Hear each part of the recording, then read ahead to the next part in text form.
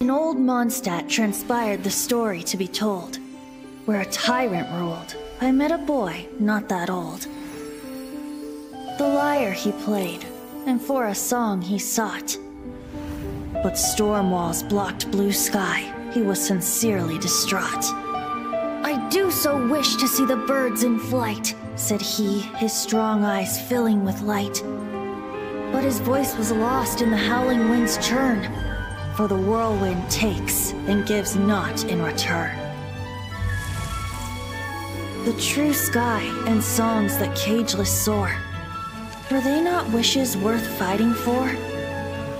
So the boy turned, extending his hand. Let us cast down the tyrant and his walls from this land.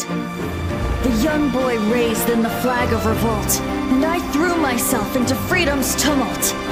Victorious were we who fought to be free. Gods fell, winds whipped, nations shook violently.